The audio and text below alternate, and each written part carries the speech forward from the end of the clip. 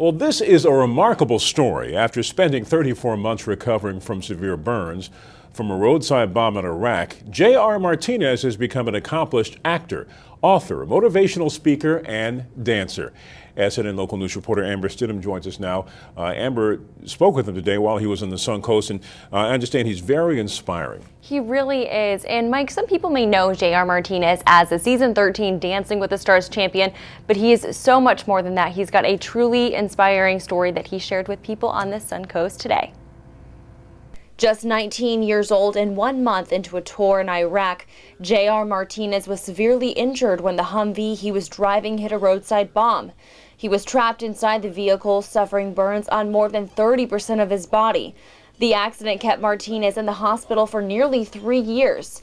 And throughout his life-changing experience, Martinez is now changing lives himself. As the keynote speaker for the Tidewell Hospice Compassion and Caring Luncheon, Martinez says this was an opportunity to thank those who give their lives to care for others, the kind of care he's familiar with. Having had to kind of give up my independence and kind of rely on someone else to kind of take control of my life, um, I've been able to survive. And it's, it's, it's more for me today about trying to give back to those individuals that constantly provide that care. Six months into his own recovery, Martinez met with another burn patient.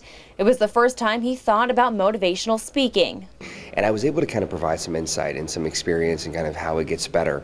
And by doing that, I realized that had an impact. So then a year and a half after that, I started to kind of get a lot of letters from people saying to come and speak and do this motivational speaking. And I thought, I don't want to do that. It's boring. It's not the coolest thing in the world. I was 20 years old at the time. Like, who wants to be a motivational speaker at 20 years old? Um, but then I realized the impact that I could have. His accomplishments keep growing. As an actor, he's had roles on shows like Army Wives, All My Children, and Safe. Martinez took the Mirror Ball Trophy home as the season 13 Dancing with the Stars champion and admits he never could have imagined he'd be doing any of this. So I never thought my wildest dreams I would kind of be looked at as this symbol, as this example of survival, of perseverance, of possibility, of hope. And for me, it was just it was it, it, it, came as a complete shock, and I think that's a great thing for me because it just, an extent, keeps me humble. You know, it keeps me understanding the importance of doing why I, why I do it. And Mike J.R. Martinez is a very busy man. He still visits people in the hospital, listens to their story, and of course shares his. So he's doing a lot, very busy, and of course, just such an inspiring story.